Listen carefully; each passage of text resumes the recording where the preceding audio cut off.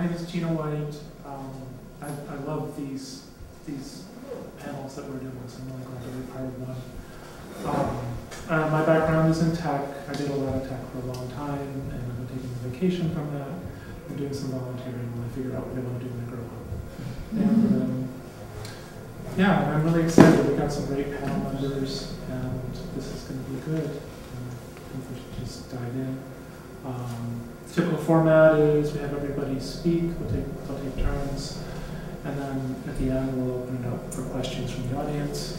And when we get to that point, you can direct the questions to the panel in general or to individual people if you want to follow up on something they said. And, uh, round of applause for the panel. Hi, I'm Julia Serano, um, and I'm a writer and activist. Um, and so, in thinking about this, I figured it would probably be best to kind of focus on both the little small window of the world that I've seen over the last getting scarily close to 50 years, um, and and also to talk about a lot of things that I've observed and written about, thinking about identity labels um, in trans and queer communities. And, and, and my perspective, I should say, is as a trans woman who uh, my first interactions with trans community happened in the early 90s, uh, pre-internet world. And uh, during a time when uh, TVTS was the, the inclusive label um, in those worlds. And at the time, those the commu all communities, queer communities, and especially trans communities, were very isolated. And I would say, for the most part, like gender identity labels in those communities that I first entered into were very much right out of medical discourses. Um, we were transvestites or transsexuals. That was it. Those are the two options. um, MTFs, FTMs. And that was pretty much the, the language that we had. And we, I would be at meetings and people are like, oh, so you're a crossdresser, right? And I'm like, yeah, but that doesn't really, I don't really fit in that, but I don't think I'm this, I, I don't think I'm transsexual. Um, but it was, the, the identity labels were very few and very rigid, and I think a lot of it was because we were so isolated that maybe individual people would come up with, I identify as this, but there wasn't really an effective way to communicate. Maybe you could communicate with your friends, your community, mm -hmm. but like we were so isolated. I was in Kansas when I came out or to this community, and it was while this was happening, Gender Outlaw came out. I didn't hear one person talk about Kate Bornstein's book, Gender Outlaw. Like we didn't even know in this trans community that this, what would become a very influential book came out. Hmm. And um, then what I saw over the, the, the, years was books like Gender Outlaw and Leslie Feinberg's writings and other people's books really started both challenging medical discourse language and also kind of breaking out of the idea, of well, you don't have to be a man or a woman, you don't have to be a TV or TS, um, and it was around that time that I started hearing kind of a multiplicity of different identities. Um, the first one that I really resonated with was bigender um, that I had heard. I would later hear genderqueer, and I was real excited about that and called myself that for a while. And so, and, and especially with the internet then, there's a way for this information about labels to sort of spread out. And over the years, there have been many, many, many, many labels. I feel like even though I've been involved in trans communities for however many years, um, I still feel like every year I, I, hear one or two or four more labels, um, which I, I, find really amazing. And uh, so much to the point now that like you see like conservative bloggers complaining about 60 different gender identity labels on Facebook. Ah, end of the world. Um, so all that's been really amazing, and, and, finding a label that works for you is really empowering and it opens up new doors. I think that's really amazing. But one thing that I want to talk about with the rest of my time that I think is really important is that of contentious arguments I've had within communities, probably more of them have been about identity mm. labels than maybe anything else. Um, and so I've been thinking a lot about why that is. and uh, thinking about the way in which gender labels don't work like other identity labels. Um, so, for instance, um, when I call myself a musician, uh, nobody makes any assumptions necessarily about like what instruments I play, Oh. what types of genres of music I like, right? Like it's just a word that just is a general category of things. But when you say words like woman or transgender or dyke, like there are all these assumptions and images that people conjure up of what that means. And I think that a lot of the kind of always coming up with new labels is often related to trying to escape assumptions from these other labels. Like, well, I'm a woman, but I'd like to do these things that aren't considered womanly, and you know, that like trying to avoid those assumptions. Um, and a related thing is also the way in which gender labels are relational in a way that most labels aren't.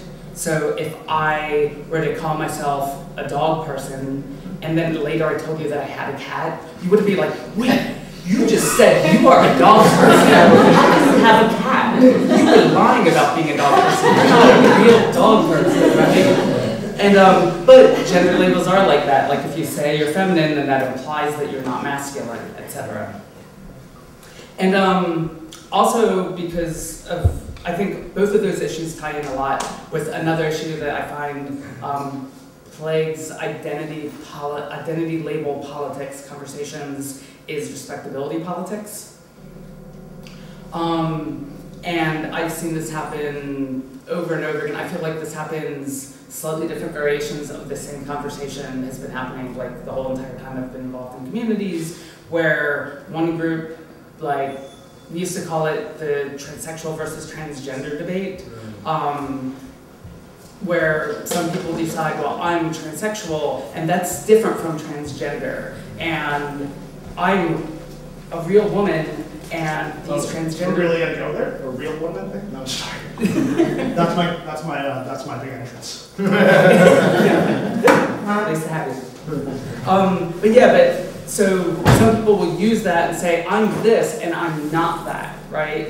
And respectability politics can cut different ways in different communities. And I've, I've experienced people who I identified as, as say, drag queens who were insisting they're nothing like transsexuals and transsexuals doing that to cross-dressers and cross-dressers doing that to genderqueer people and over and over and that slices every single way.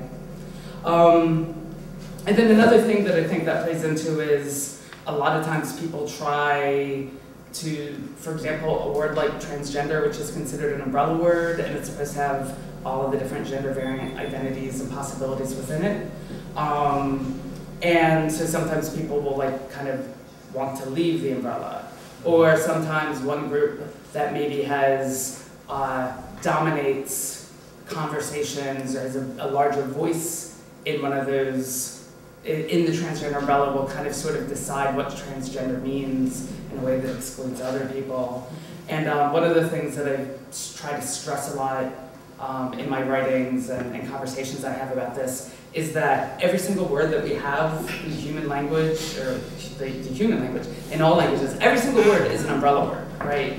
If I say bottle, right, I'm not talking about one specific type of bottle, every single word. Um, and even if you get to really specific identities, some people might think that, oh, I'm a transsexual or I'm this, and they, they have this very specific idea in mind, but every single time you have a very specific idea in mind of what label means, you're basically excluding other people who also potentially fall out of that label. And then finally, um, the thing that I wanted to kind of end with, and uh, just making sure I have enough time, um, is, and this came up out of writing that I was doing around um, the T word. Um, I wrote a piece a couple years ago called A Personal History of the T Word, uh, by which I mean tranny. Um, and the way in which that has changed over the course of my life. And it, the word has a very interesting history in that it started as an umbrella term for drag and transsexual women. And then it was appropriated by the sex industry, um, and then got bad connotations. And then around the time that I um, came into the, the trans and queer communities here in the Bay Area, that was a really, it was a reclaimed word that everybody was using and um, it was the self-empowering thing to retake that word. And then to watch over the last 10 years, the word become, you know, oh, this is a slur, you can't say this anymore. And I was thinking a lot about that. Um, and in the piece that I write, which you could search with that title, you could Google that, my name, and you will find the piece. Um, in the second half of the piece I, talk about what I call the activist language merry-go-round, which I think applies in general in activism. Um, I think especially trans and queer communities are particularly accept, uh, susceptible to it because of the way in which we tend to come out to the community at a particular defined time um, in a way that we're not associated with the history that happened beforehand. And a lot of times people are really, really active for a while um, because they've just come out and this is everything to them, and then they essentially sort of become less active in the community, and then a new cohort of people become really active. And I think a lot of what drives the, the this merry-go-round, this activist language merry-go-round, is stigma. That if you're trans communities, if you're a marginalized community, every word associated with you becomes stigmatized. And I think that we A, want to separate ourselves from the stigma, and B, we can't really do a whole lot. Okay, yeah, I'll be done further. Um, we can't really do a whole lot individually to affect all the systemic problems we face, right? If I can't access healthcare, um, if I'm, you know, having problems getting a job because I'm trans, or for some other reason, I can't really. Those are major systemic problems. But language, I have a certain amount of control over. I can control the language that I use, and I can, to a certain degree, um, I don't want to say police because that's a very strong word, um, but I can um, interact with people that I'm talking to and say, that's a bad word, don't use that, I prefer this word, this word is the right word. Um, so I think that that's a lot of it. And I think that the couple things that I say in that piece after thinking about this a whole lot um, is that I think it's a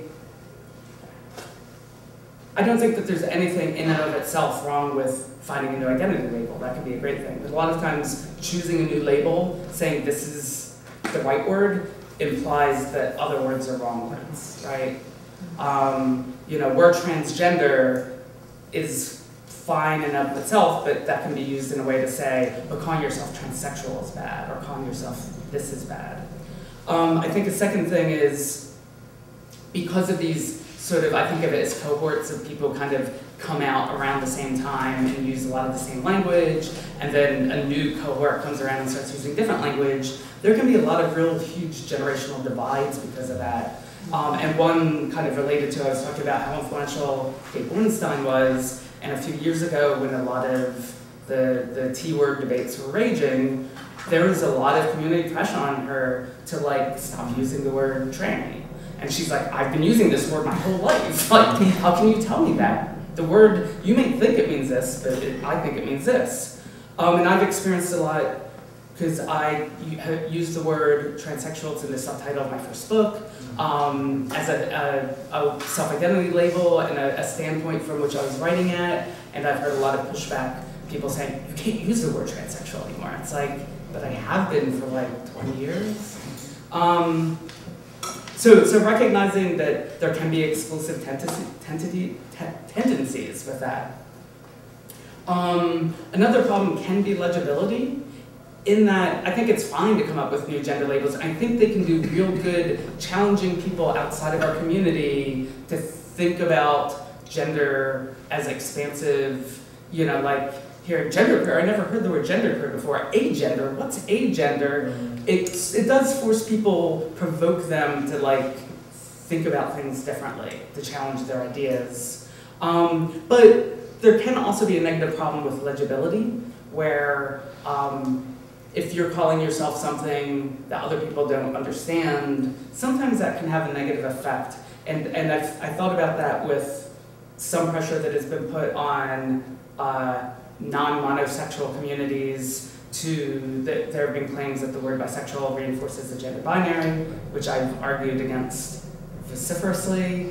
Um, but one of the main points I make in that is people have been using bisexual for a while. If I tell my parents I'm bisexual, they know what that means.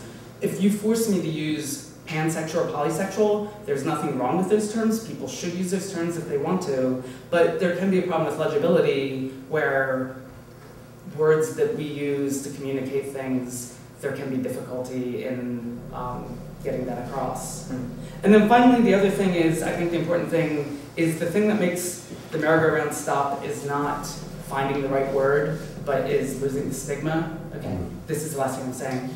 Um, we say gay and lesbian not because those were the right words. Other words that came before and alternative words could have been the words that people use, but those were the words around the time that the tide was pushed on stigma, right? And so saying that you're gay or lesbian now does not have the stigma that it did 20 years ago. And if the stigma left earlier, we might all be calling ourselves homophiles, right? Or pansies, Yeah. or, you know, lots of different things. So basically, those are some of the thoughts that I wanted to share with you, and looking forward to hearing what everyone else says and what you all think. So. So I'm going to talk a little bit about this topic too, but through the experiences I have in different organizations I'm a part of, um, as well as through some of the thoughts of people who uh, think I think is interesting, but I don't necessarily agree with everything that all the quotes I'm about to share. Um, just want to put that out there. One of the groups I belong to, um, since I moved to the Bay Area, is called Girl Army, and it's a collective the sex is dedicated to pure taught, affordable, physical, and psychological self-defense for women and trans folks in Oakland. Um, and the collective, I thought that this actually, when Gina asked me to speak on this topic, the work of the collective came to mind kind of immediately. Um, the, we end up teaching a lot of self-defense classes, not only by the passions that people have in the community, so people approach us with things they want to happen, but then also um, with the passions of people that are in the collective. And inside the collective, the collective started in the 90s, um, and it was originally, I think, started out just as self-defense for women, perhaps, um, and has expanded to a lot of different types of gender orientations. And within the group, there are actually a lot of um, people who identify, there are gender fluid people who identify as gender queer, uh, people who identify as agender, et cetera. Um, and we had, ended up having a lot of different classes this spring. We had a people of color class that had people of all genders. I don't, there weren't any cis men, but there were a lot of other different types of people that came through for that class. And then we had a um, class for trans men and masculine of people, and then another class for trans women, um, another class for sex workers, um, things like this. And I guess it's interesting because inside the group we take such good care to respect each other's genders. Um, people take such good care of each other and of the people who attend our workshops, and that's great. But even within the collective, sometimes we have discussions about a lot of different aspects of it. But that even the name, um, in terms of our programming, it's really community based, but the name itself almost doesn't really fit. I feel like when the collective started, the people who are still a member of it um, from the beginning were like 90s people who were into the Riot Grrrl scene, and a name kind of came out of that, you know? And so um, it's just interesting because at this point, we once we taught the POC class, there were a lot of people who identified not as women and were like that. You know, you should think about that name. Do you still want that name? Know why you all have the name. You still want it. And um, I think that we are thinking about, do you still want it? Does it still make sense for, um, and the word army too. I mean, you know, it's not things. the work is good, you know. Um, but yeah, um, so let's see. Up. I also am the executive director of um, Double Union, which is a feminist community workshop and makerspace here in San Francisco. It's in Potrero Hill, and Gina is also a member. Um, and we have, it's, it's a cool place. I was there just before here, it's like a clubhouse, there's tons of materials, there's 3D printers, and it's, it's a really cool dynamic space in terms of um, a cool place to work on a lot of different types of projects and hold a lot of events. I've held film screenings there and things like that. But when it came to our membership qualifications, we've just actually recently started, I think, so originally Double Union kind of started um, out of some negative experiences people had, women had in spaces that were maker spaces or hacker spaces where they experienced discrimination. Um, and so it started out as a safe space for women.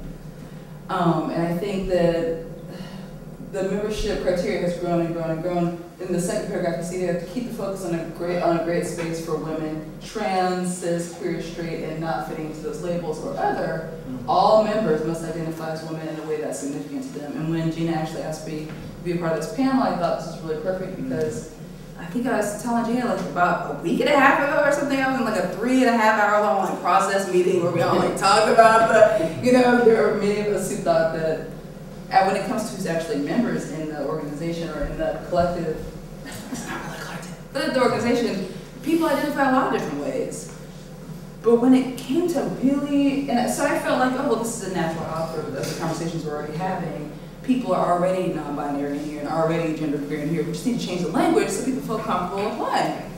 Um, but the conversation got a lot more complicated because then there were all of these things that were kind of left over from when it was supposed to be a safe space. I think for women, there were like a lot of cis women having a lot of feelings about um, what what's safe and like who who is as if as if and I mean I'm saying this as executive director.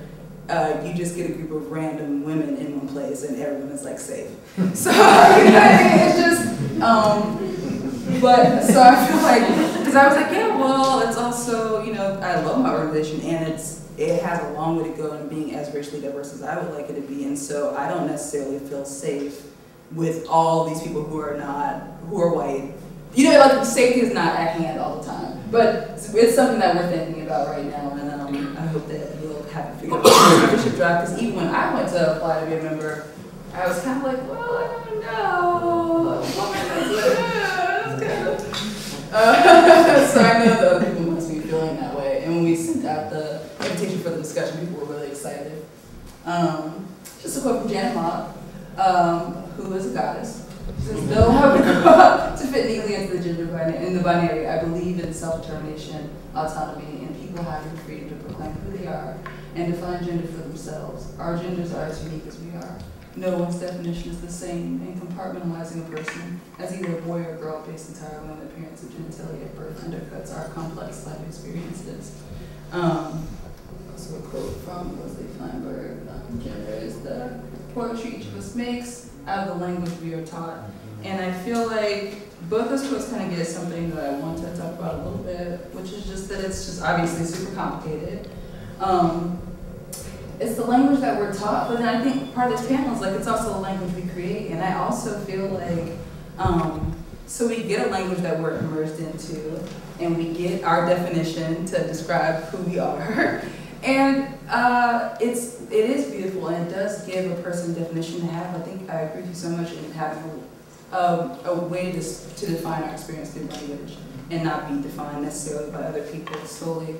Um, but I also feel like creating, whenever, there are always new labels because none of them are really going to catch the thing. It's just the language we have to try to get at the experience that's not really, it's going to elude language to a degree, and so there'll always be this generation of um, new language to describe experiences more completely, um, or attempt to. I think it'll always be kind of an attempt.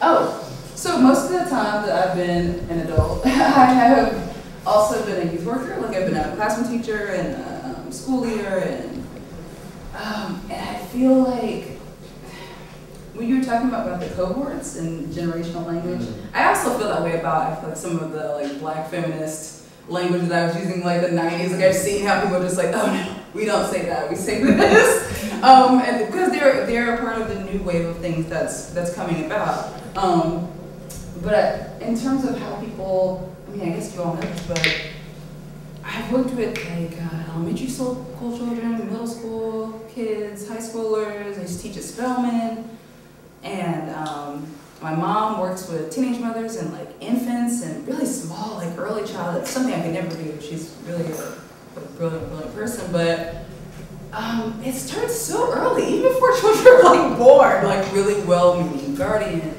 parents and Like, it, it affects so many things, like what toys they play with, what colors they can be around, like their dreams, their aspirations, their artistic endeavors, um, what, how they move. Like, you do something like this gender, that's like this gender, that's not the, you know, it's, but it's constant and people are really well-meaning, I think, but it's really horrifying, actually. And it's, it's a massive part of schooling, I think, um, and it's one of the reasons I'm just become so disenchanted with being a teacher, um, because it's just really, uh, I think policing is a harsh word, but it's like indoctrination for sure, like very aggressive, and um, yeah, I don't think people even realize it but um, don't really know this person, so if someone knows something about them, um, that is, that I should really consider, uh, let me know. But I like this quote. It says, I realize that the English language is sadly devoid of names for people like me. I try to cut the world some slack for this every day, all day,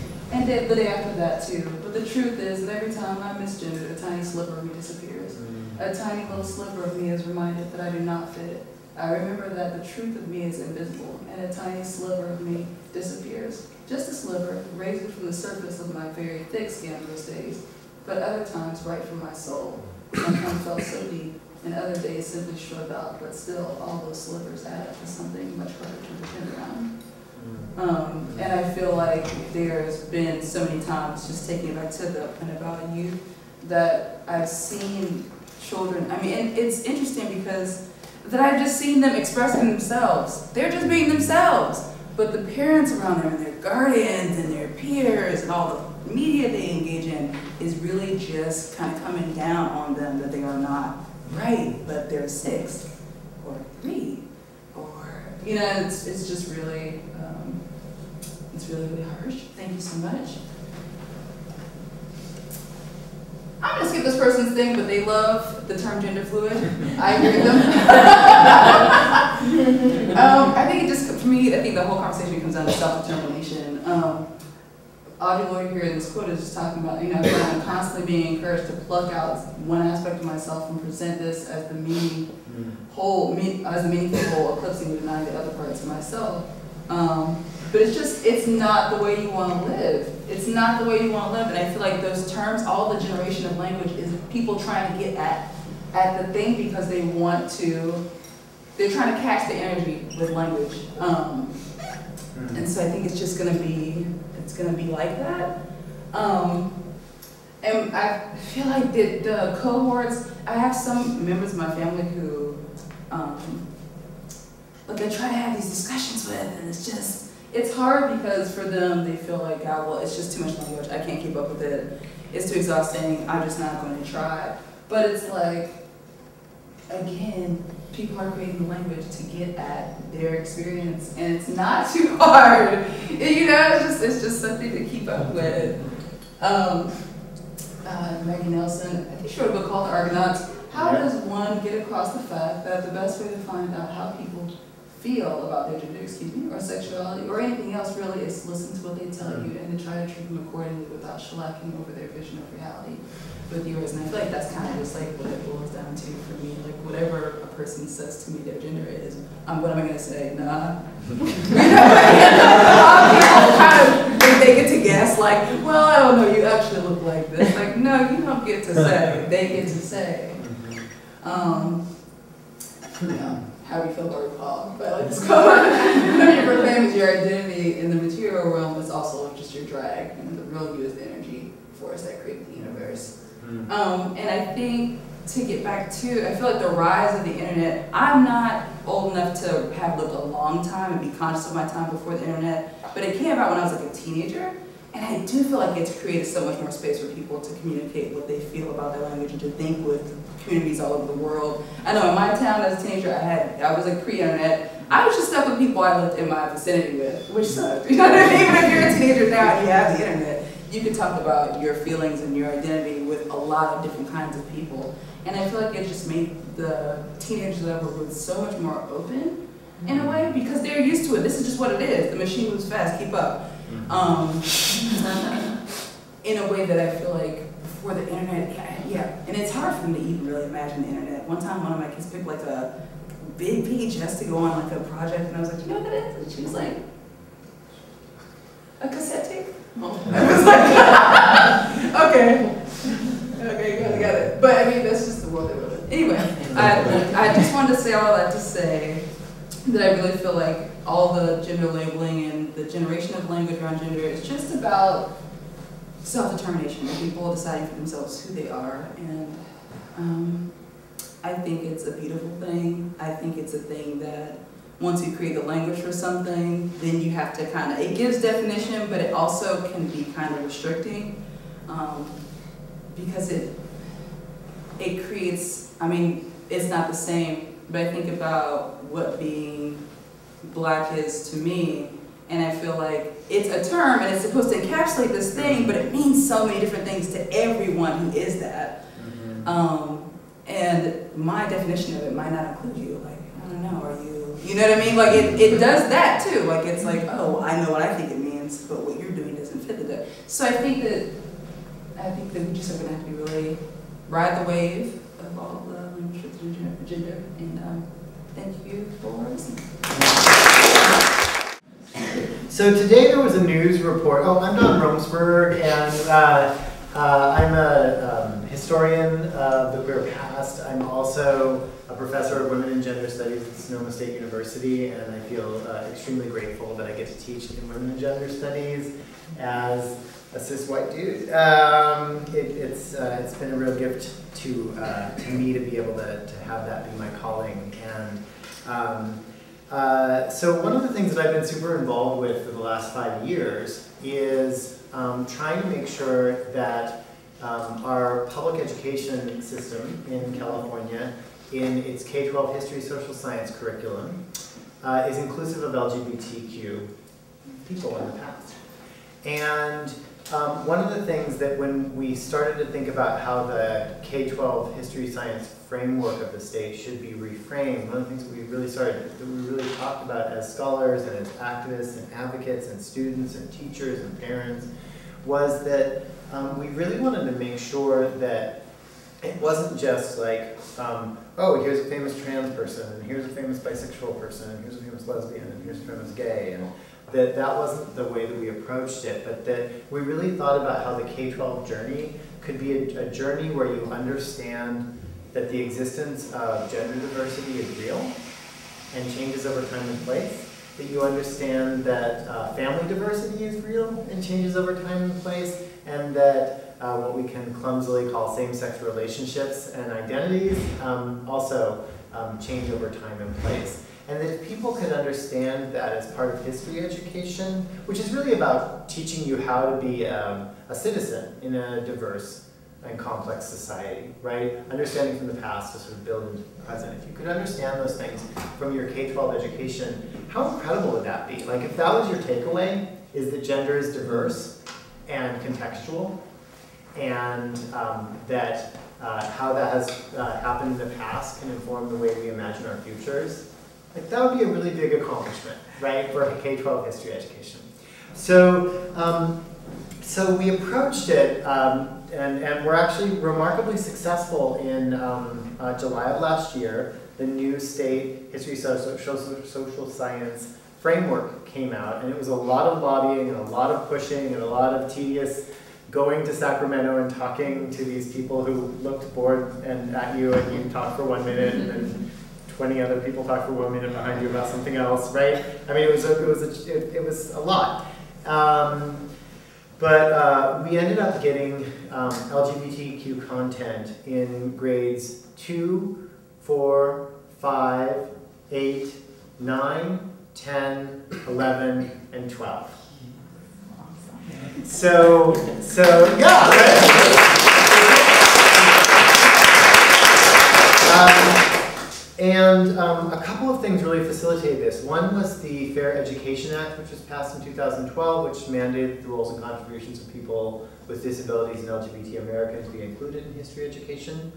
Um, and then the other thing is it was sort of the right time and place with sort of the marriage equality movement, and everything that was happening, Democratic governor, um, California, for whatever reason, the religious right sort of abandoned the fight early on.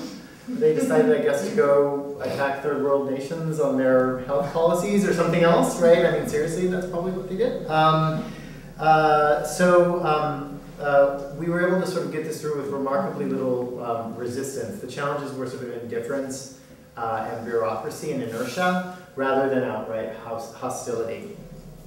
Um, so um, imagine my surprise when I came to read today. Um, something from CBS News in Sacramento.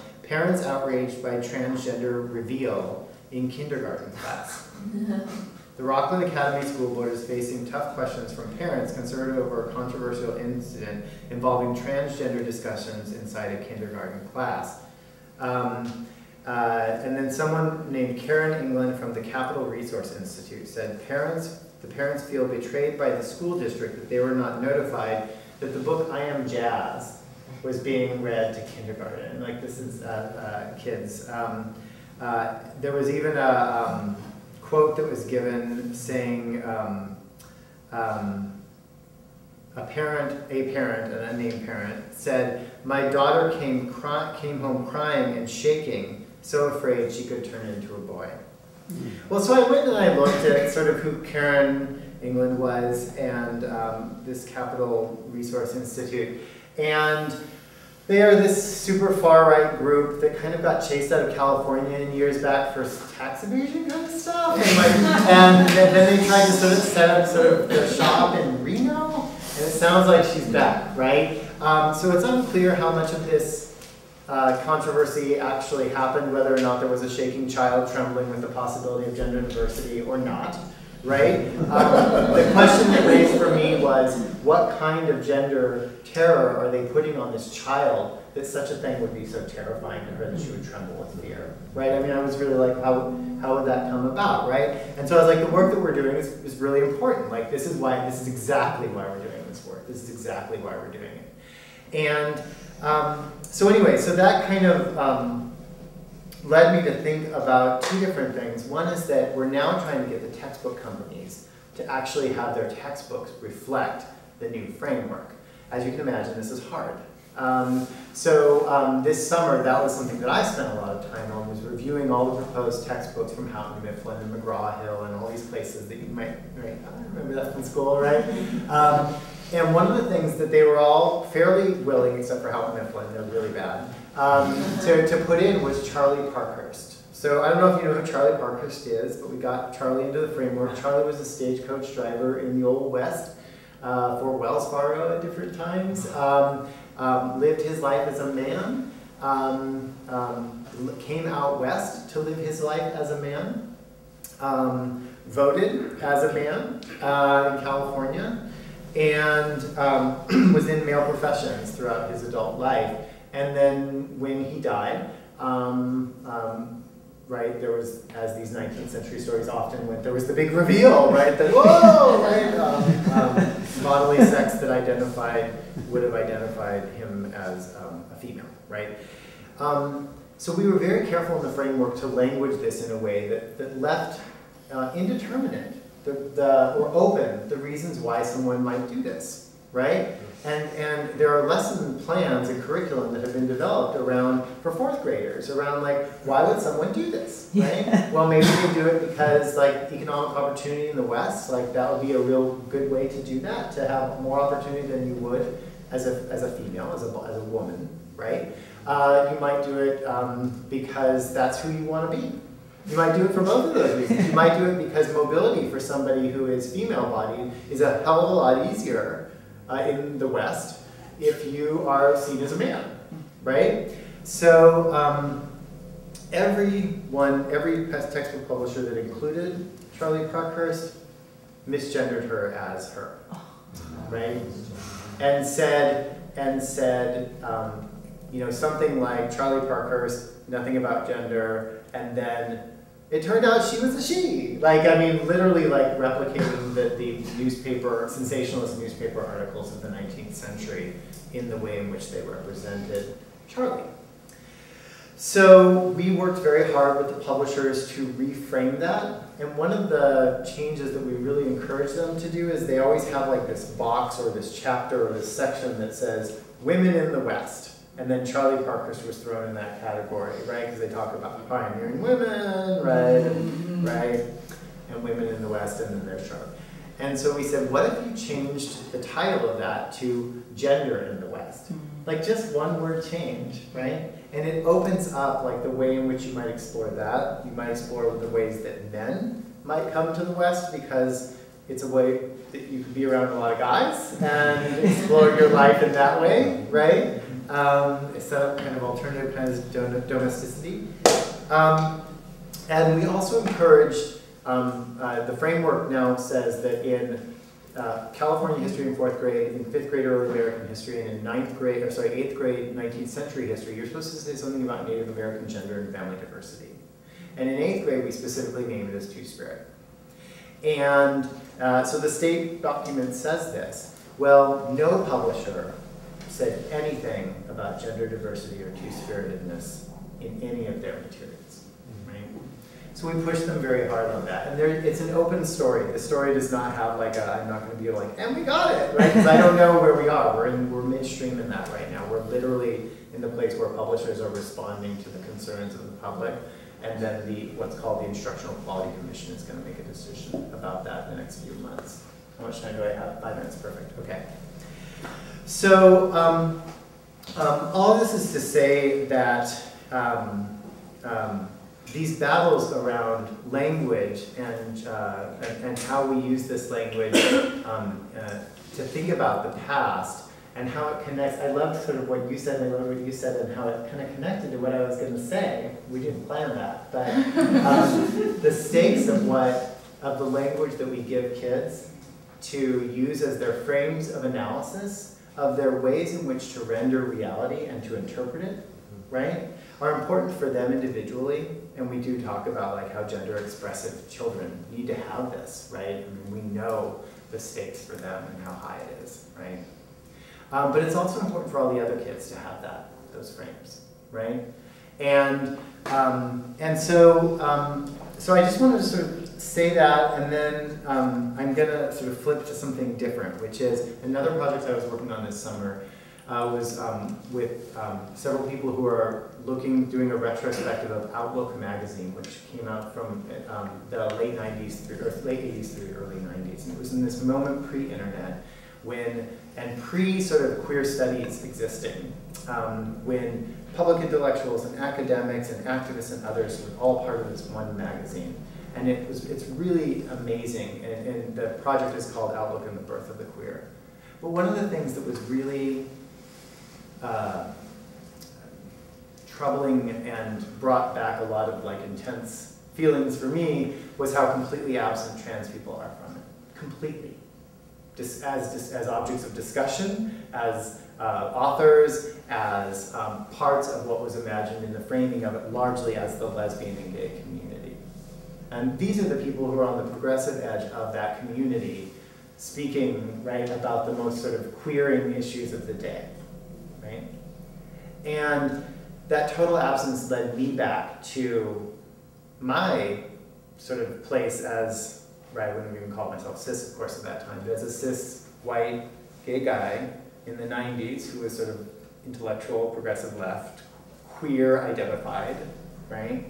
And how much I had to change and evolve uh, in order to um, realize how central transness was for all of us.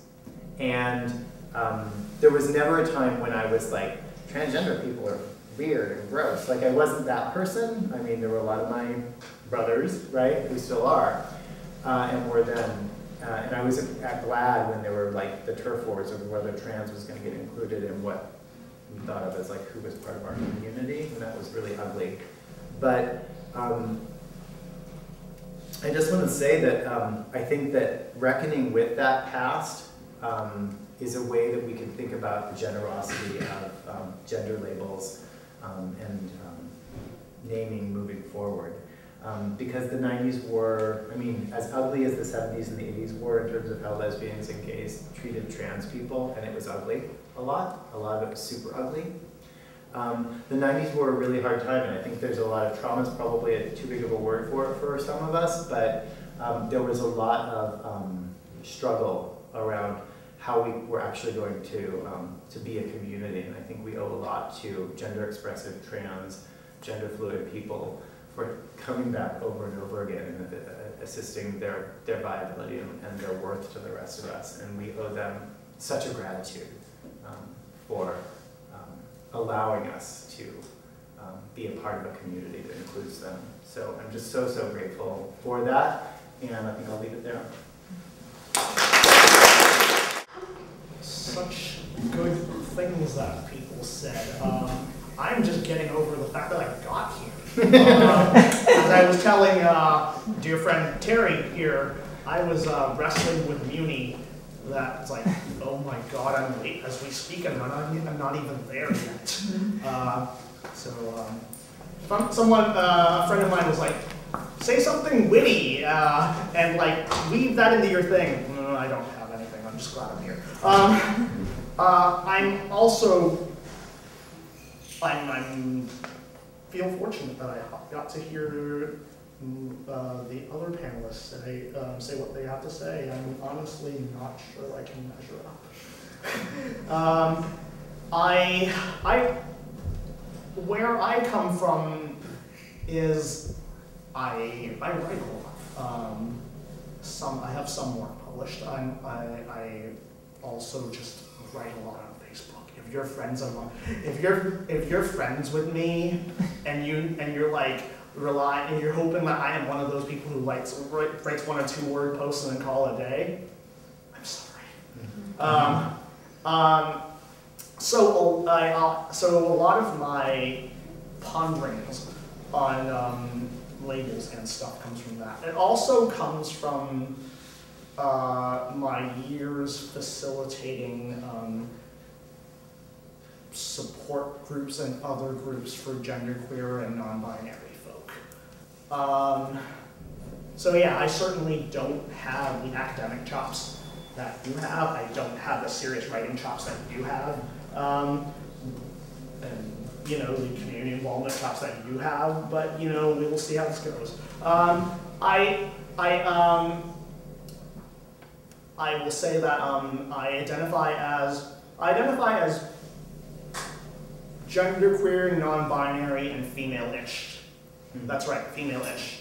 Um, and these are things that are important to me. And I, and that's really the center part of my, my thing about labels. Like, I, I, I, I, I think Terry said that um, one of the one of the things that had me that had him approach me about doing this was I was like ranting about on Facebook because we're friends about um, about how irked I guess I am about people who are um, people who are talking about uh, wishing they had a label-free society. And for me, you know, it's, I have to say, like, my, my feelings about labels are just mine. And, you know, if you really feel that a label-free society is gonna be better for you and those around you, that's great. You know, I, I, if we all, ultimately, I believe we all just want things to be better. That said, I, I, I can't, every time I read something that says, that some, says something to the point of, why can't we just have a label-free society, I can't help but think that that person has amount, has the amount of privilege that allow, that gives them other agencies to, that gives them other agencies to justify to the world around them that they get to be there and they get to be who they are independent of those labels. You know, if, if you're a upper middle class cis white dude with a college education and a white collar job, That's me. I don't believe in labels. Okay, fine. Uh, if you are, if you're, um, if you're him,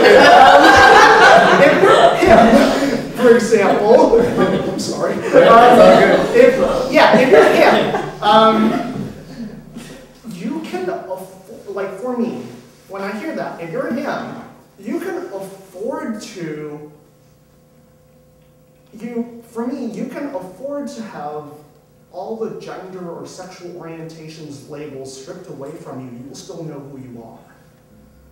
Society will still know who you are, and you will still get respect, the respect and the benefits and the means of survival that one needs to survive in society because all these other things, you're being cisgender, you're being uh, college educated, you're being, you're being, you're having a well-to-do white-collar job, will allow you to have all these things that will allow you to have that allow you to still know who you are and get those benefits in society.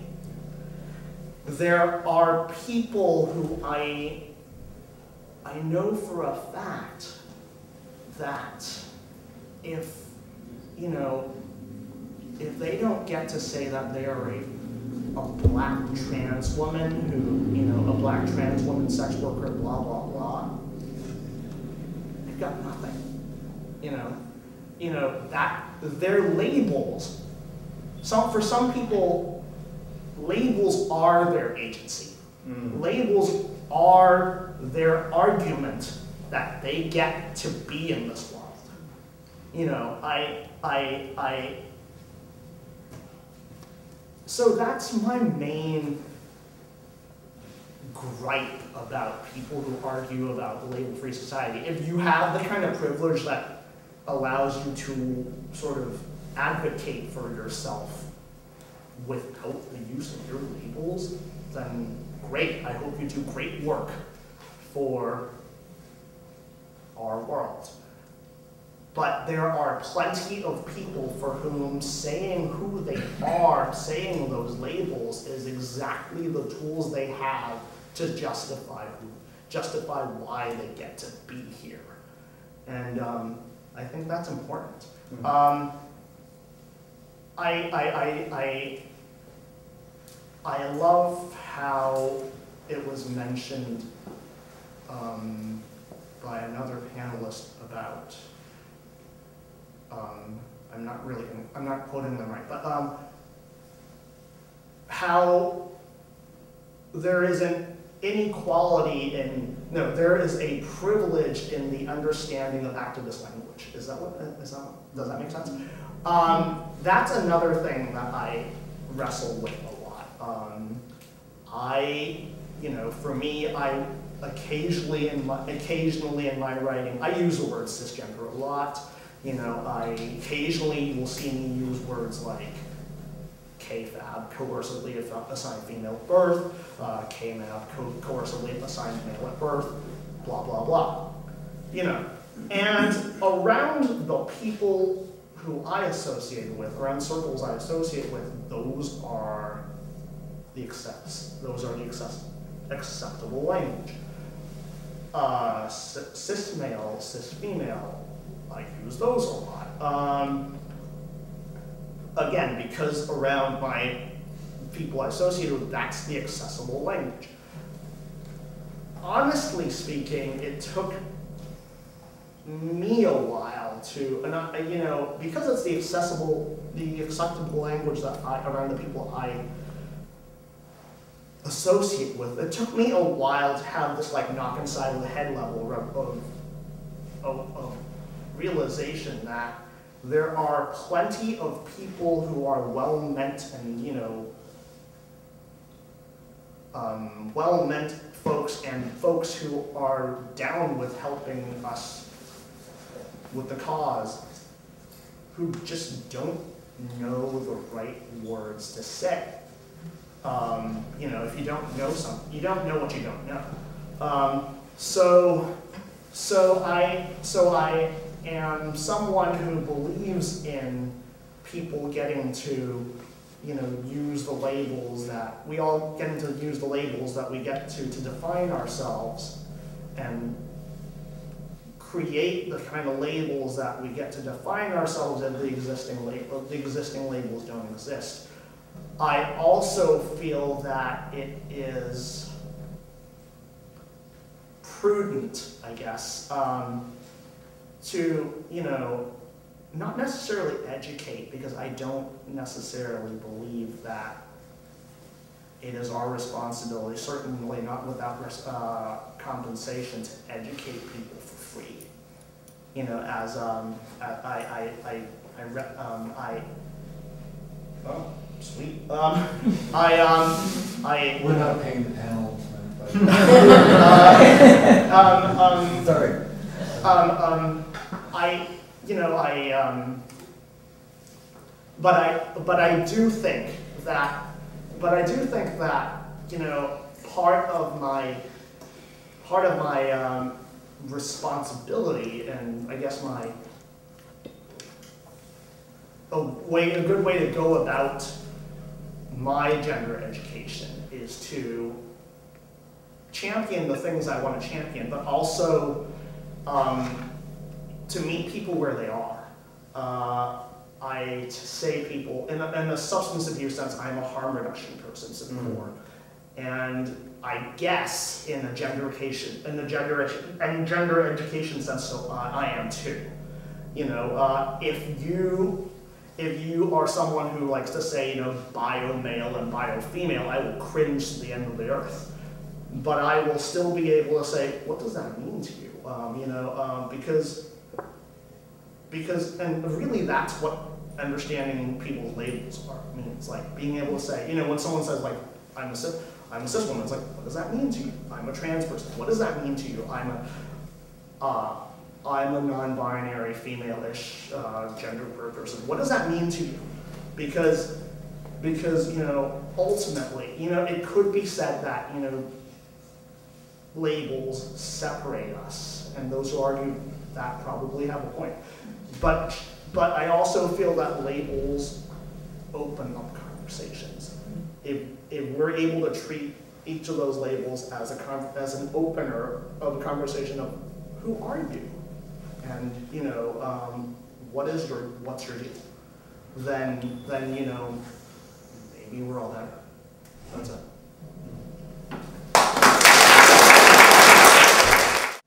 Uh, Thanks, everybody, that was really fantastic. Um, I'm just gonna kick it off with a question, and then we're gonna turn it over to the audience for questions. Um, A lot of what I heard was about how the labels have been evolving. What's your sense of, are they evolving more quickly?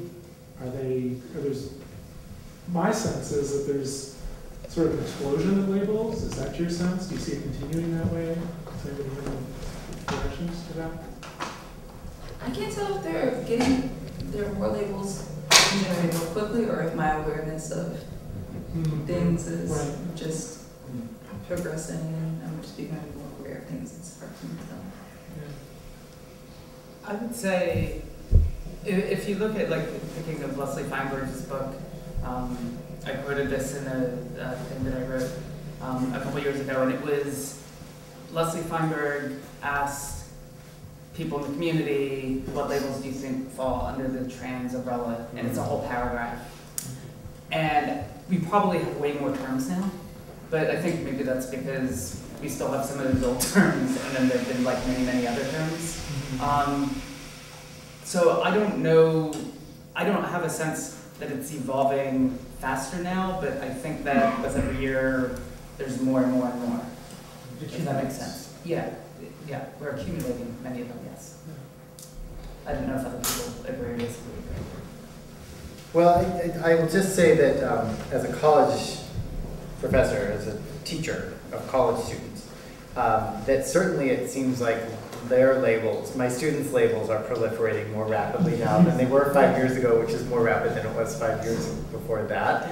And so in some ways, I feel like it's, um, I call this stu, this group of students that's like now, and the high school students that I encounter now, the Google generation, because um, they can go online and Google everything about who they are and come up with this, it- I almost, I almost relate it to like the explosion in sexology in the late 19th century when these medical doctors were creating these taxonomies of like inverts and urnings and like all these, right? They're like, "Do, do, do, do, do, this is a transvestite, this is a fetishist, and do, do, do, right? All these little taxonomies, except that these are taxonomies that are um, being crowdsourced and claimed by the people who are who are who are um, enunciating those taxonomies for themselves. And so I think we're in a place where the new technology of, of the internet and social media is allowing for this uh, explosive taxonomy in the same way that the medicalization of sexuality and gender in the late 19th century did the same thing, but with a lot more agency.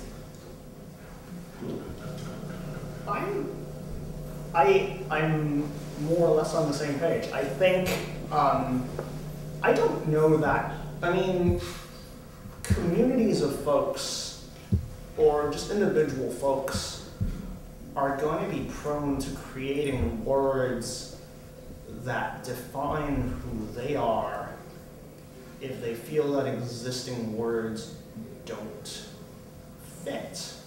I mean, there's a, the popular idea is that the word genderqueer happened in the early 2000s. I don't know what that, that is. I don't know that that's true. Um, but I certainly, but I certainly know that in, when, when I came out in 2001, two, and I, uh, and I found the word genderqueer, um, that made sense to me because I knew I wasn't a boy, I knew I wasn't a girl.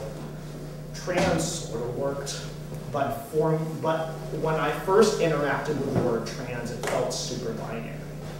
And so when I found, when I found the word genderqueer, it just felt, it just felt like it fit. So I don't know that there are, I don't know that there are, I don't know that there have been more words, labels now than there were some years ago. I just feel that, like other people have said, um, technology has allowed us to, you know, um, there are probably, you know, prior to the 19th century, there are probably more people who identified as gay. Maybe not in that word, but there were people who identified as gay. But with, but with more media being more what it is, more and more people were, uh, ex- were exposed to the, the ability to identify as such, and so more people identify as such.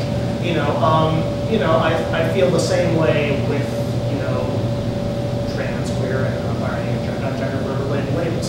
Like, you know, there are prob, I know for a fact that there are people who identify as not, as, as different from, than the chromosomal makeup that they, uh, that they have.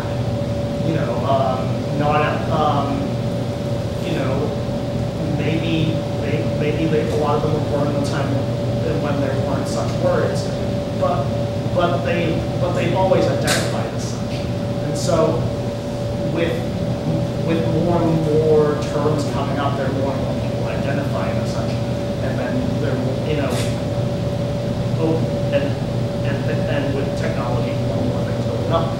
Um, so I don't, so, I- so like others have said, I don't know are more labels now, it's just, I think, the fact that labels other than trans, transsexual, transgender, there, other than that existing is more, uh, is more accessible, there's more accessible information because technology is allowing.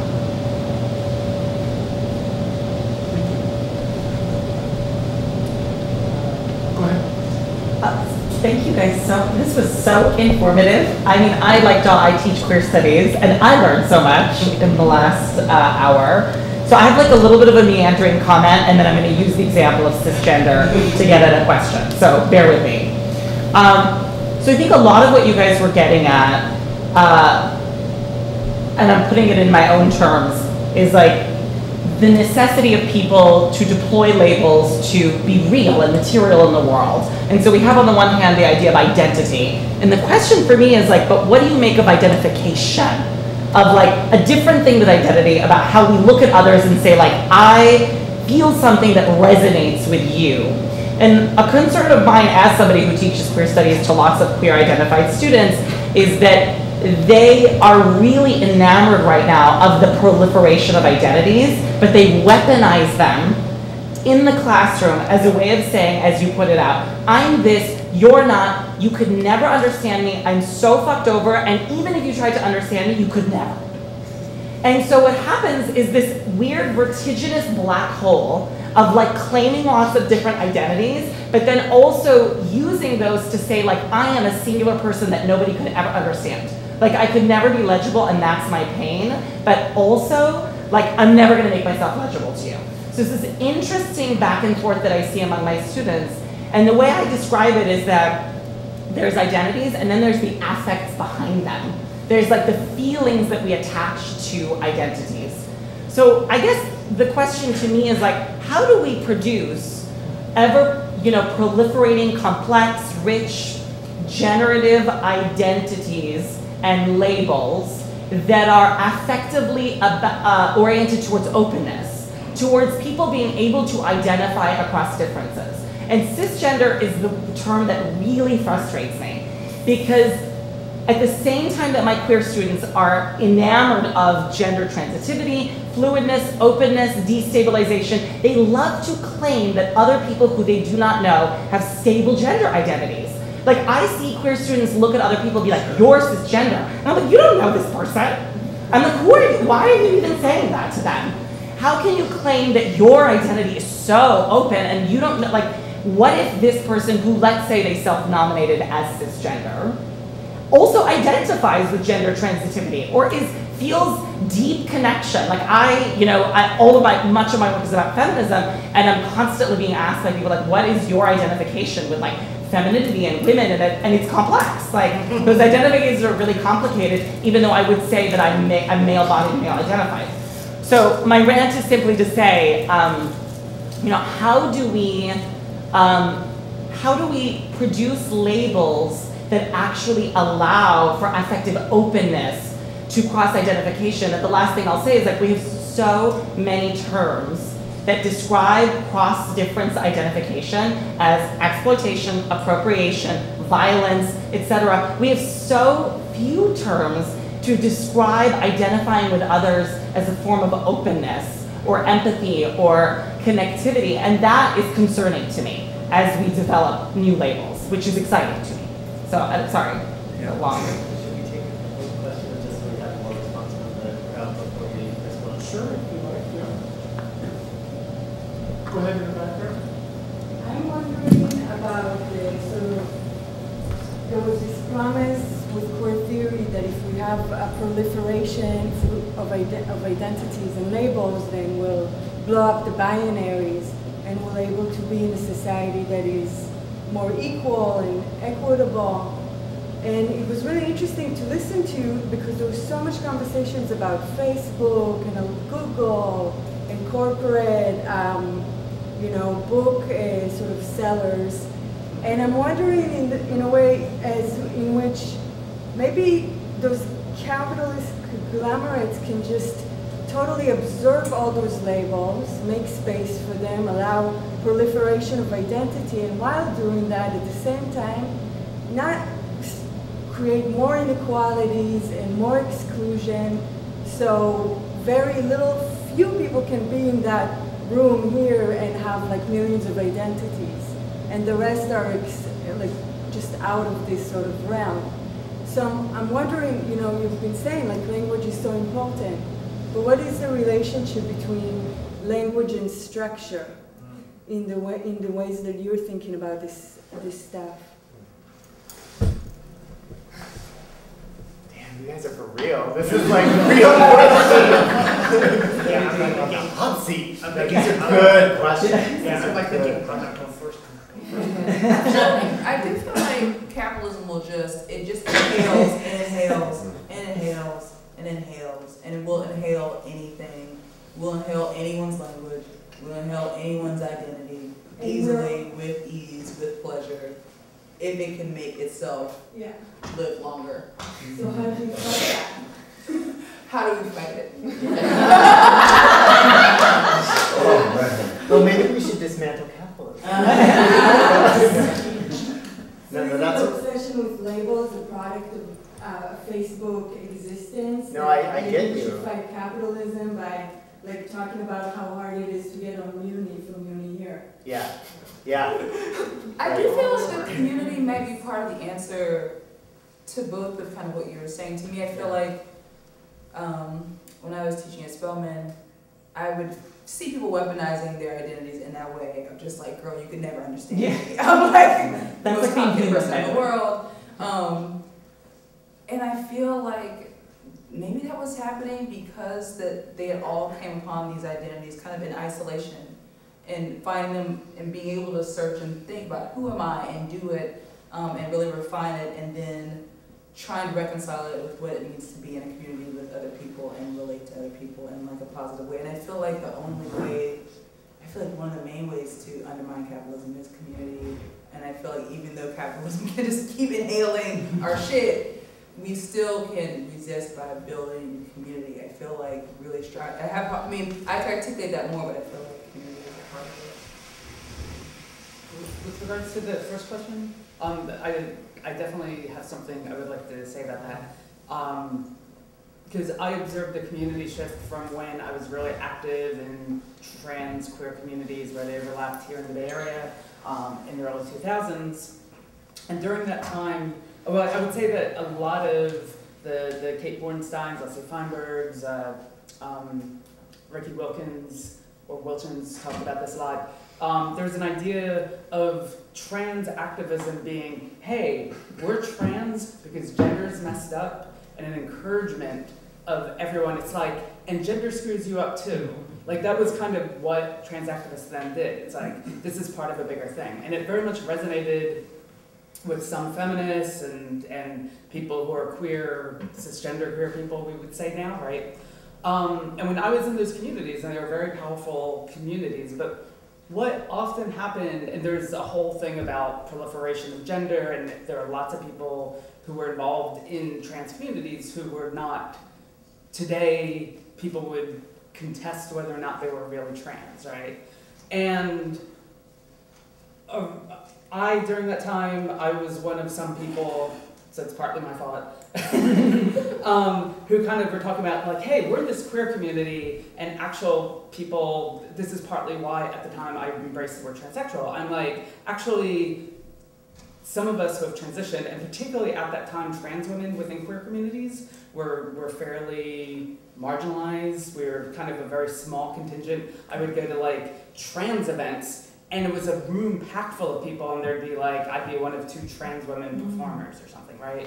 And it was out of that that the, the cisgender discourse came out of. And the point was to say, to talk about, okay, like I celebrate your celebrating your gender diversity, but there are some privileges that, that some people can have, right? And so it started out as just a general conversation of articulating privilege, which I think is really important, but unfortunately, it's a, a, a built-in thing with privilege discourses that people who are not fully aware or haven't fully thought- through really just want to, like you said, weaponize privilege, right? And so just saying and, and seeing you, you had the RuPaul quote and like just seeing people today being like, well, this cisgender man, blah, blah, blah. It's like, whatever, I, I, I have issues with some things RuPaul has said, but like RuPaul was like out as in your face gender variant, like, you know, like way before, you know, a a lot of us were even here and even when I was like a closeted young person, it's like, so anyway, I think that both dialogues can happen at the same time. I would like to see that. And I think it's really hard with the privilege discourse because so many people don't know, don't really think through the fact, like privilege, I think most of us here would understand that there are some things where we're marginalized and other things where we're privileged, right? Almost everybody has privileges, right? Um, and it's a way to, to recognize, I mean, it's just the reverse course of, the, I like to think of it as if you understand that people are marginalized and therefore face disadvantages, then some people face advantages. And just privilege is recognizing your advantages. Um, but like you said, it gets weaponized. And but I would I think that we could talk, we can have the conversation about privilege and marginalization and in an intersectional way that that like can support everybody but recognize some people are far more marginalized than we are and support one another. and at the same time explore gender diversity. Like, I think we can do both because gender does screw over everybody Mhm. to some degree. or. Yeah, um, right, without, without, um, like, we all flow through the streams of capitalism, um, but we don't need to be seduced by it, right? And I think that, um, it's hard, because capitalism is hella seductive, right? It is, right? But, um, to sort of, um, to this point of privilege, right? And, and, um, sort of weaponizing the discourse of privilege as a way of um, like seeking to stand above those that you mark as having privilege, right?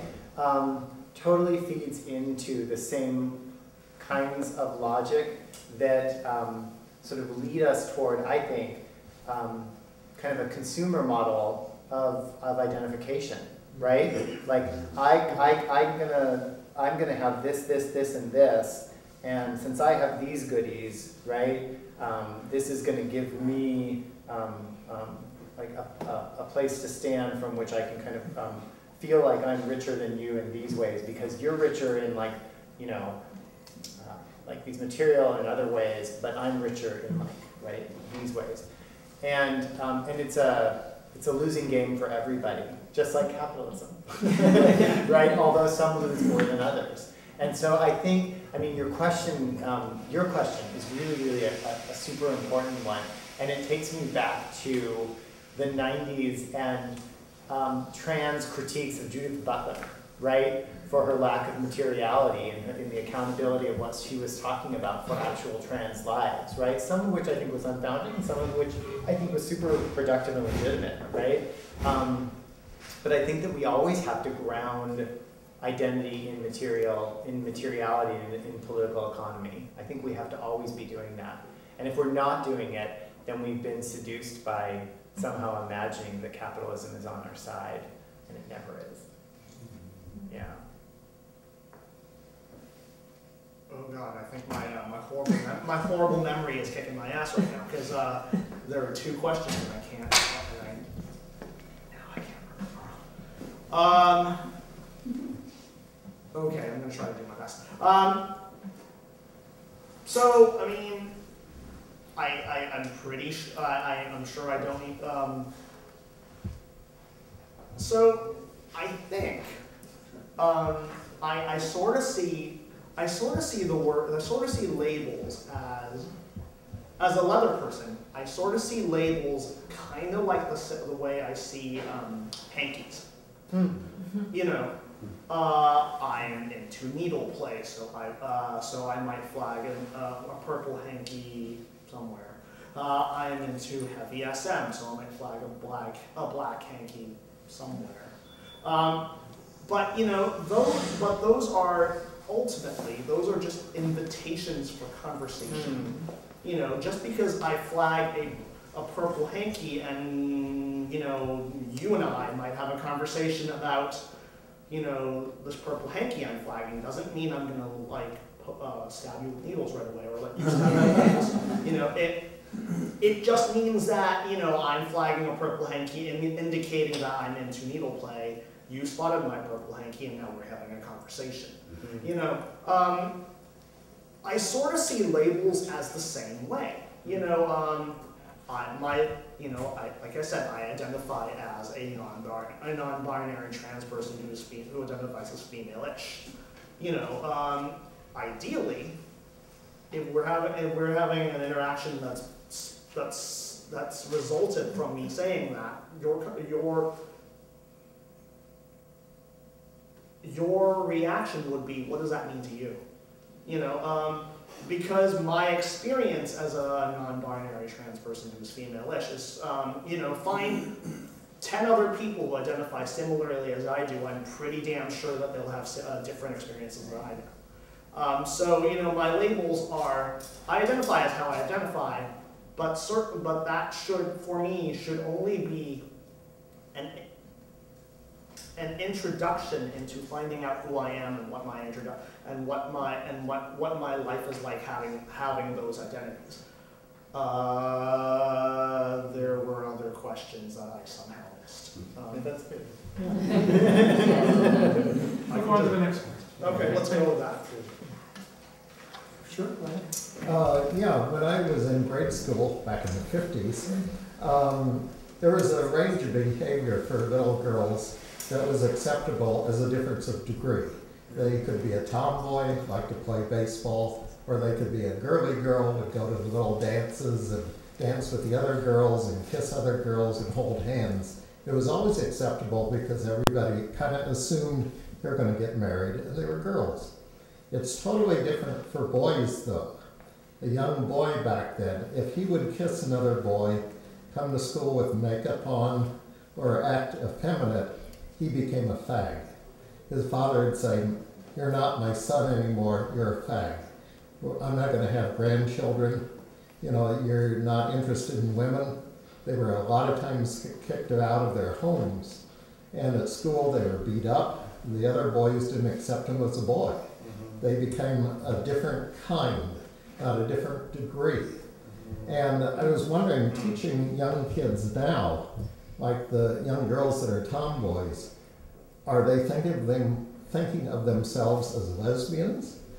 How can you get around if you're starting to put labels on these young children, these terrible things that can happen from that? Mm-hmm. Yeah, I mean, I have kids too, so maybe I'll say, I'll say as a parent too, some of this stuff. Um, you know, the labels, I think you said it well, the labels existed back then, right? So the fact that there are more expansive labels now and that we uh, ascribe more autonomy to, or agency to children in the in self-identification with those labels is a huge step forward. Um, you know, in my childhood, um, you know, you were called fag all the time for all sorts of reasons, right? You were called a, that was, you know, that's so gay as an expression, right? You could be a boy who, I don't know, likes sushi, right? And that would make you gay, like gay or a fag or whatever, right? So like, um, so like that kind of gender policing is, is, you know, has always been a part of, um, of childhood. Um, uh, and, uh, you know, like the, the term sissy, right? The term sissy didn't really exist in the language before um, the sort of Teddy Roosevelt Rough, Rough Rider days of like what, when boys were supposed to really be boys in the late 19th and early 20th century. This didn't exist before that, right? Um, so there was more gender expressiveness for boys in the mid 19th century than there was at the turn of the century, for example.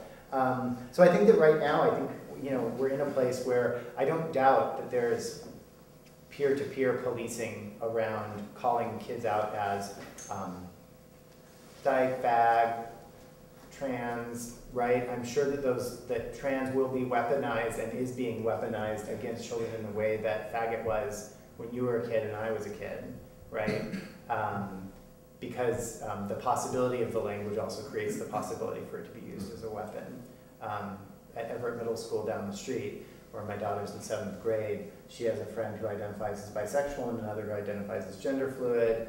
Um, she's, I, I, I, I, well, you're filming, I'm not going to say what my daughter, how she's working with gender, but um, uh, she's exploring that as well. And, uh, and I think it's great. Um, but we shouldn't kid ourselves into imagining that just because that's happening, that those kids aren't also being um, harassed and bullied, even at a school right here adjacent to the Castro, right, in, in good old San Francisco.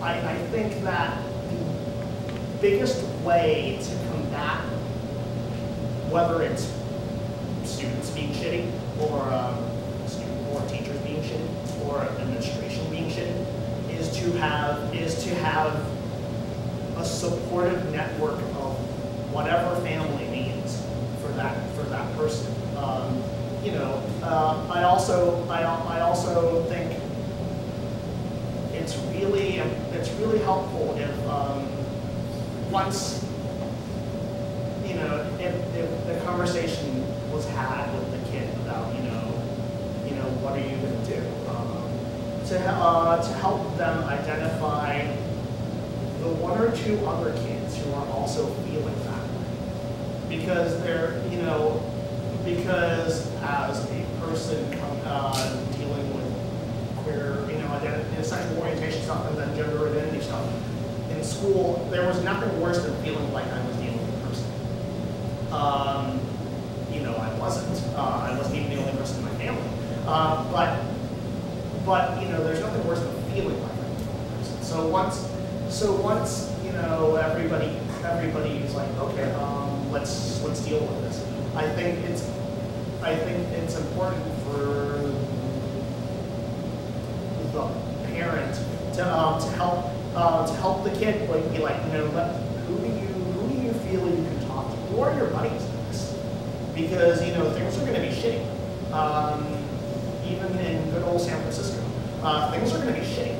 Um, so, but dealing with deal, dealing with um, kids, administration, and shitty, knowing that there are other people is way better than dealing with kids, administration, and teachers being shitty, feeling like you're doing it yourself. Um, so that would be that would be my take, or that would be my take. on this. I feel like in terms of the media that children, that I see them, I'm not a child and I don't uh, watch all the shows that the kids work with, watch or claim to know everything about what they God, experience in terms of. Well, see, that's what I'm saying, yeah, I'm not like a, a parent who spends a lot of time on individually with children, but it seems they have a lot more compared to what I had growing up, just in terms of cartoons, I'll stick just with cartoons, I won't even go on like, who's on cereal boxes, I won't go on any I other stuff. watch more cartoons. It's, well, it's kind of interesting. Like, um, the kid was telling me the other day that she was like, oh yeah, my favorite cartoon is this, this cartoon, I don't remember what it's called. And that's it. So then you have one of them is like a jewel who's like in love with this. And, but the gender Wait, was, I was which like, one? What is it wait, called? what is it? Oh, it was Steven Universe. She was describing it to me One and I of was six like, people who hasn't seen it. really weird. And that sounds oh, really, like, that's really interesting. That would never have happened. Like, I could never have seen that after school myself then because there was no internet and like broadcast media was just like corny. And just, it still is super corny, but like that's on somewhere and a bunch of kids watch it. So I feel like there are ways that they just have more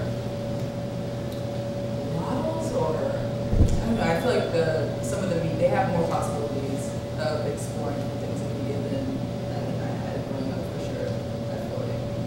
That said, media, children's media is also hyper gendered. Yeah. And it's, and it's only been in the last few Yes. years that, that the commodification of childhood has started to back away from that a little with like Target, like, right, not having like the kid, the boys and the girls section for the toys. And, um, the, the, the the Princess Industrial Complex has started to sort of back off. Like, I- like it must not be as profitable as it once was. So those kids who are coming up um, now are going to have a, a different kind of experience with that than kids from five or ten years ago when it was, especially for girls. Like, I mean, the binary was intense in, in toys and clothing and culture. I think it was, yeah.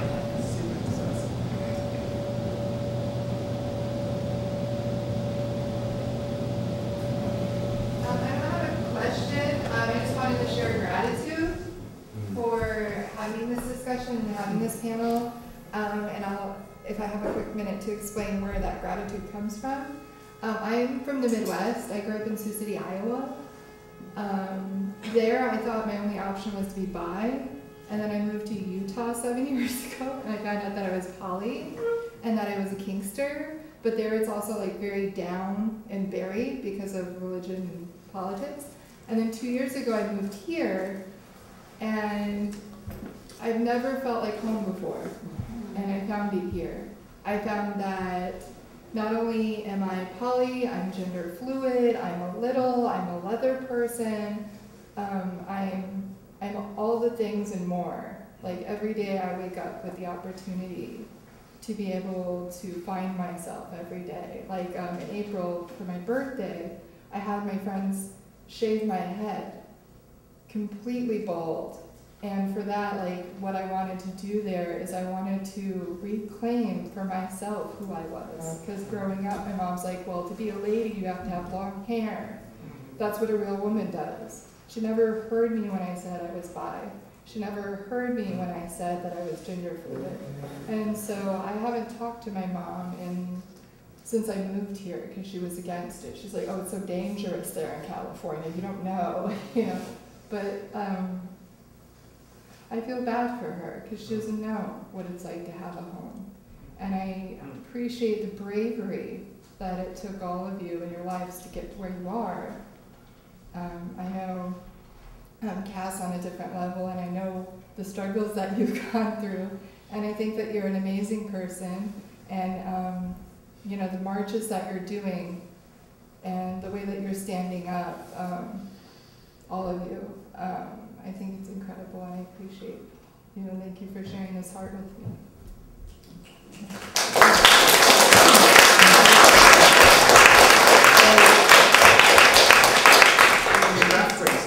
Um, so, uh, I don't know that I've said this, but, um, but I, I've been, I've been out as, I came out as trans when I was 21.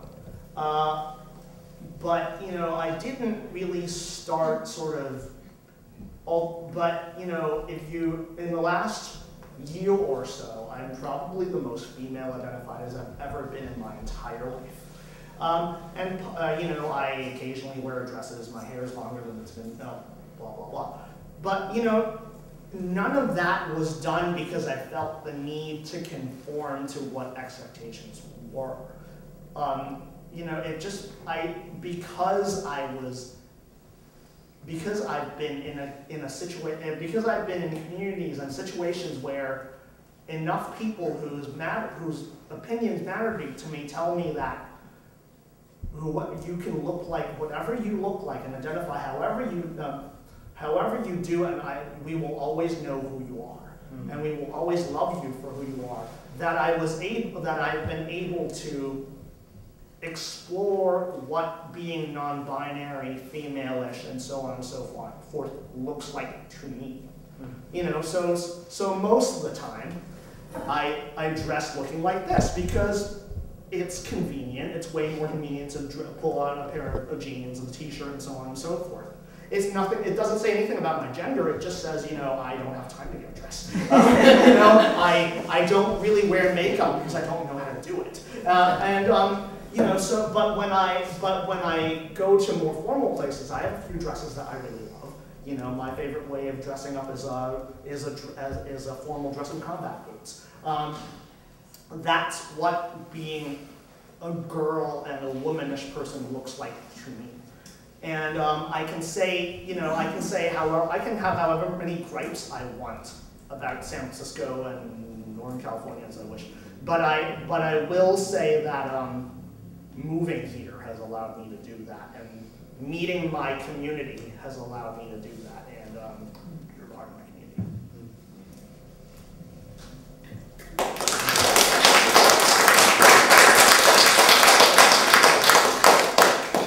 So we're about at the end, we have one more question. I think there were two comments. I'd just like to hear from both of them. We don't have to respond, but I'd love to just make sure we hear from you and you, right? I guess my response was kind of like the kids these days rants where we're all special snowflakes and whatnot, is that personally, I feel like we're building really inclusive communities. I mean, personally, I am queer and non-binary, so like anyone here could be queer, anyone here could be non-binary. Like we all, those are huge categories that encompass so many people. I think that's kind of incredible, and you can respect that and respect all these beautiful identifications and also respect people's materiality and like their lived experience. So, so I know that even though I'm queer and non-binary, most people do not know what the fuck that means, including my French, and people just see like a butcher woman, and that's my lived experience. So we can all respect each other's how we move through the world and how we feel ourselves, and it's not it shouldn't have to be a conflict or either or. And also like cis is a really important word, and like cis privilege is real and cis mm. passing privilege is real. And it's uncomfortable to be called that because, yeah, it's uncomfortable. White privilege is uncomfortable. Able bodied privilege can be uncomfortable. But it's real and we have to have words to acknowledge it. And we have to sit with those privileges and take that on. You know, so that's just my little thing to that.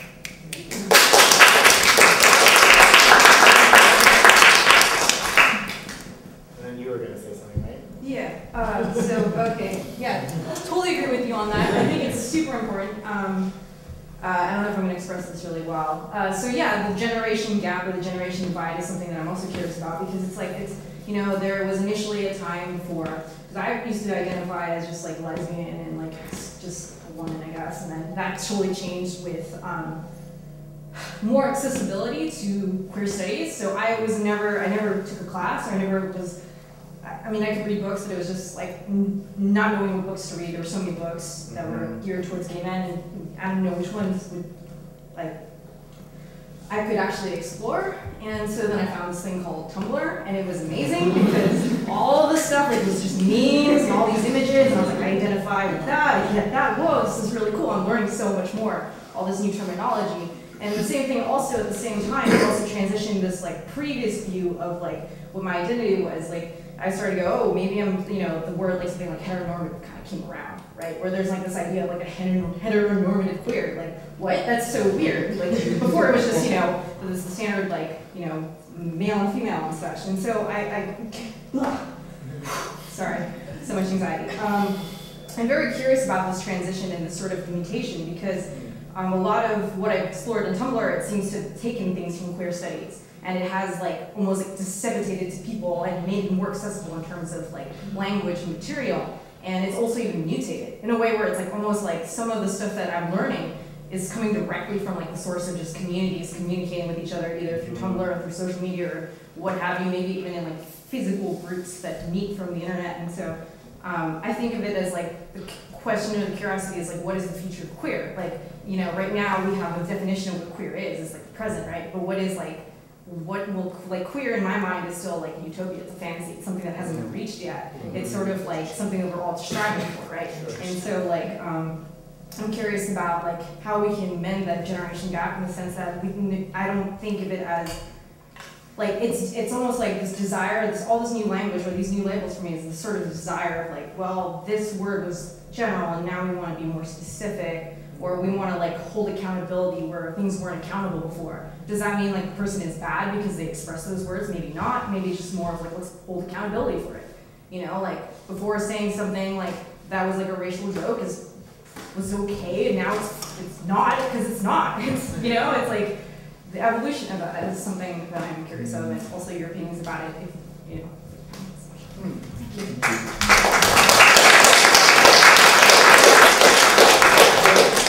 The queer utopia thing struck me. Um, because I can tell, I can find 10 folks, LGBT folks, just in my circle who hate the word queer. And, and so, you know, and, you know, their, their experience growing up is different from my experience growing up. But their experience growing up and their lives are real. You know, um, you know, uh, I, you know, their queer was and sometimes still is used as an epithet. You know, and so I, I think the part of the bridging the gap thing you're talking about is understanding that people, you know, part of the thing about labels is that they're words, but you know, they're they're words that come with experiences. They're words that come with, you know, you know, they're words that come with identity, but identity is a series of experiences. Um, so they're, they're words that come with experiences. And so, you know, part of bridging the gap for me is to, again, use those words and like, you know, okay, I love the word queer for how open it is. I love the word queer because I identified as queer because I, you know, I was, for example, I was in a relationship with eight men before I first dated my first woman, and my whole world, my whole world view changed for me. Um, so that's what it means for me. Um, but for you, it means a word. The word queer means that, that it's every time you you got beat up for being gay, you heard the word queer. Both of our experiences are real, and so and so you know part of opening and bridging the gap is to is to understand that my my associations with words are not the same as your associations with words, and you know, and to be like you know you know as much as I again, cringe at the idea of um, a label-free society. If that is what you, if that is what you strive for as being awesome, then you get to have that. But what does that mean to you, and how do we get there? You know, um, that's I think that's the bridging the gap thing. Could I respond to that really quickly? I'm one of the ones that don't like the word queer. It's not because of the reason that you gave, but because of the connotation. Back in the sixties, when I wanted to go into med school, queer was considered uh, strange, different. I wanted to be a respectable member of society, not seen as somebody that was different from society. And when people would say, boy, you're queer, uh, we like to say you're a pervert or you're a degenerate. And uh, I wouldn't want to have degenerate studies in a college. I wouldn't want to have pervert studies in a college. And it has the same effect for me when I hear the word queer because I think, you know, the basic meaning is just strange or different. See, I own, see, unlike you, I own all those words. I own, you know, degenerate, weird, and, um, and different. But that's just me. Yeah. Uh, those are the, uh, my experiences and my, the community that I have had allowed me to be like, you know, all those words you just said that were bad for you are awesome for me. But, you know, my life is my life and your life is your life, and we, you know, let's talk about that. I think that's what we, that's what that means. Thanks, everybody. I think that would be a great.